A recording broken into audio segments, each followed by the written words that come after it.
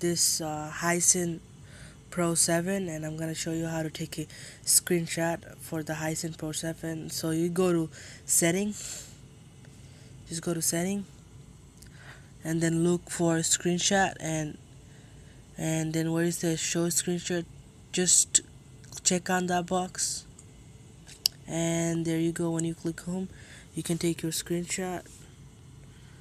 Click on that little camera button over there again. So let me just go and tell you again. Just go to setting and look for screenshot and short screenshot. Check on it like I did here. Now I'm gonna take it up now you can see it's gone on the bottom. Now when I'm gonna click it it's gonna pop up. And then we're gonna take a screenshot of the setting.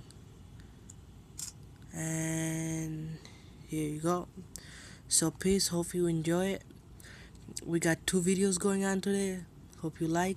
And this is the Hisense Pro 7 and peace